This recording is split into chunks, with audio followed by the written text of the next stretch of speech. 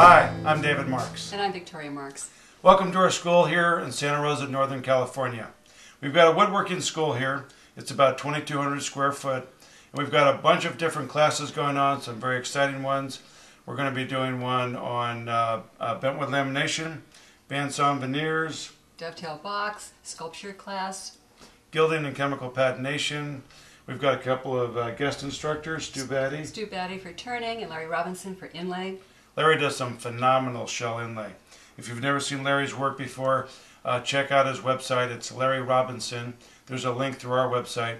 And he, he has done some amazing work with, with shell and various types of exotic materials for inlay. And Stu Batty is also a world-renowned turner. He's coming as a second guest instructor, second year in a row, and he's going to offer an awesome five-day turning class. Yeah. So it's a lot of fun.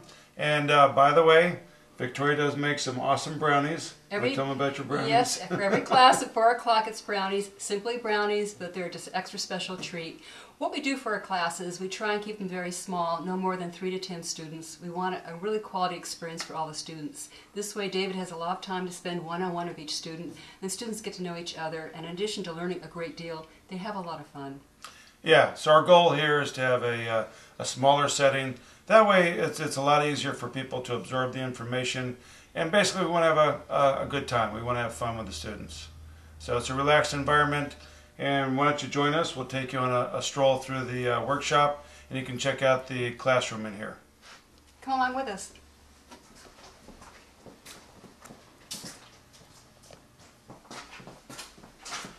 This is our classroom here. We have uh, eight of these workbenches. These are all torsion boxes, by the way. You know, really good, solid, heavy-duty workbenches. So these are where the uh, students sit and work. They can do glue-ups on here. They can lay out joinery on here. And basically, it's kind of a fun place for the students to hang out and work. Another thing we offer, in addition to group classes, are private classes, which offers a student to have one-on-one -on -one time with David. So it doesn't matter what the student's skill level is. Uh, David will set up a private class based on the student's skill level, interest, and needs. You can email us and just say what you're interested in, and David will be happy to put together a class for you. And this has worked out really, really well for wives who want to give their husbands a special gift, be it for an anniversary, for the big 5-0, the big 5-5, the big 6-0, the big 6-5, the big 7, the big 7. What about the big 21? I mean, we take younger students too. Yeah, and, so uh, it's just a really great feature to have access to David. And again, even for novice woodworkers, it's a wonderful opportunity. So we don't want anyone to feel intimidated or that they're overreaching. This is great to get some great hands-on instruction one-on-one from a really great instructor. Gee, you sound like you're married to me or something. And there's a lot of flexibility in scheduling these. You can schedule it from one to five days. We can schedule it over a weekend. We can work around that kind of thing. So yeah. again, just email us and look at our website, www.djmarks.com. If you go to the classes section, you'll see the classes we're currently offering. Plus, there'll be a photo gallery. You can look at classes that have happened in the past. Plus, at our homepage and our website, you can go to the YouTube button and look at all different clips from different classes to get a sense of what it's like being here for a visit with David. Yeah, it's a safe, uh, fun working environment. So I'd like to also show you a couple other projects that I'm working on. Here's a uh, piece that I'm doing. This is a uh, double bevel marquetry uh, piece. And this is, um, this is an example of a more uh, complex piece. But when the students come out and they do a class on, on marquetry and inlay, I do teach them this technique. Uh, they're always surprised that they can pick it up in a weekend. It looks complicated, but it's essentially a very doable technique. Over here is another project that I'm working on. This is a uh, section of a larger vessel. This is going to eventually be a piece that's about three feet tall. All this is curly koa, and it's got uh, splines out of wenge. And this will be probably something that's going to Hawaii. Also in the classroom, uh, I have examples of, of joinery and all kinds of other interesting things for students to look at. Say for example somebody wants to learn about uh, you know different types of joints. I have I have models and examples on display so I can you know share other information from them other than what you know the class that they've signed up for. So in other words they're not just getting the class they're getting all the extras from various things that are around there. You know, here's some uh, examples of some various pieces of exotic wood this is a cutoff from some veneer stock of some really spectacular bubinga this is uh, quilted bubinga with some sapwood in it. Now down here, I've got my latest award-winning masterpiece. Now this is a piece that I, uh, I just finished doing this past summer. It was on display at the Sonoma County Museum for the Artistry in Wood Show. And I'm proud to announce that this piece won Best Turning. Um, so this is a, it's a tall vessel. It's uh, 16 inches tall. It's on a stand that I've built out of ebony. There's a, a lid also out of ebony with a four-sided, you know, beveled uh, top on it. The uh, vessel itself is uh, removable from the stand, and it's a hollow vessel.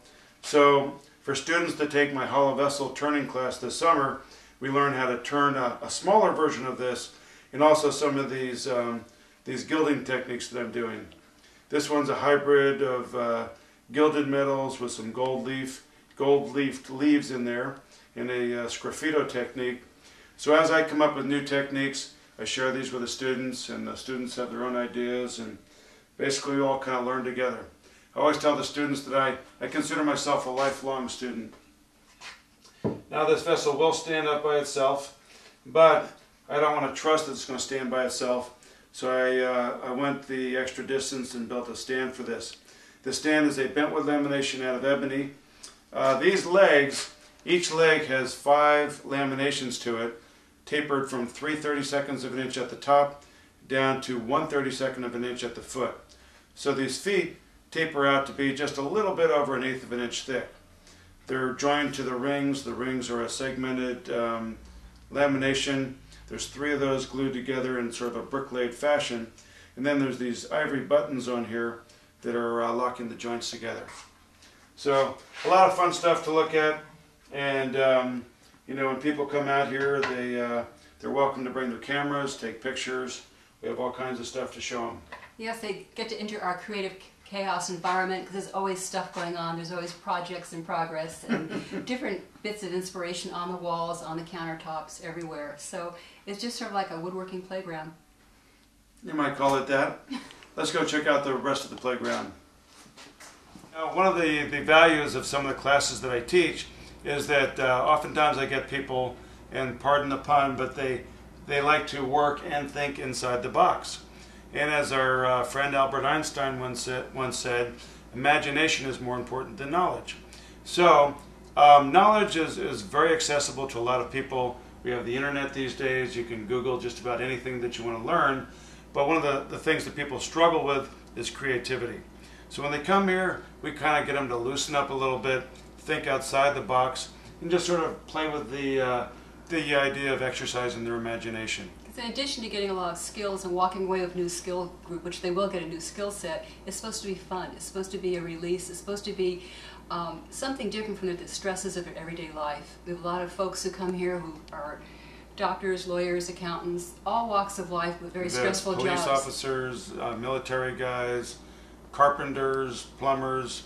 I mean, you name it. But the one common thread is they love woodworking. And they get together here as a group, they totally enjoy each other, and they get to play. That's why we call it a little bit of a woodworking playground. They get to relax and play.